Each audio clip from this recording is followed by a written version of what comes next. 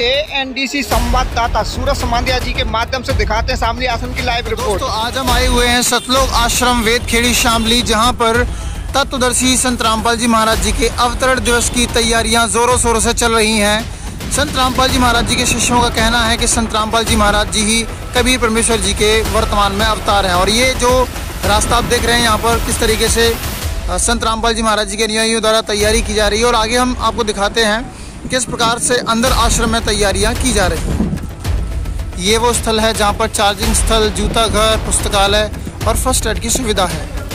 ये जो ग्राउंड है यहाँ पर टेंट लगेगा और ये जो टेंट आप देख रहे हैं, इसे कंप्लीट किया जाएगा।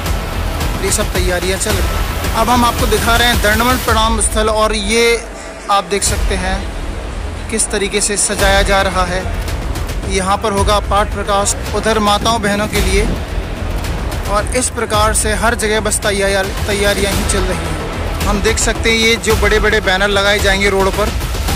और इस प्रकार से कब संत रामपाल जी महाराज जी के अवतरण दिवस की जो तैयारियाँ हैं, वो ज़ोरों शोरों से चल रही हैं। सतलोक आश्रम वेद खेड़ी में। आगे का हम आपको जो प्रोग्राम है, बताते रहेंगे। जुड़े रहिए A N D C news channel के साथ। Thank you so much for watching this beautiful video channel को लाइक करें कमेंट करें। अपने दोस्तों के साथ इस वीडियो को शेयर करें।